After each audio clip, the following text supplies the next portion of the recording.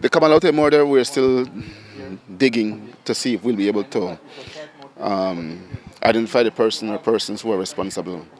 Um, information is not forthcoming to us how we want it to, um, but police remains on the ground, um, trying to see what they can gather to be able to solve that murder. As it relates to the Rahim Arnold one, we to some extent have identified the persons who are responsible. And it's a matter for us to try and find those people. The police again continue to do what we can to be able to deal with these issues as they um, manifest themselves. But again, we have to understand that we can't prevent everything from occurring. All in all, the city has been doing well um, where crime is concerned, and uh, it all has has to do with the all of government approach and effective policing, and we want to ensure that trend continues.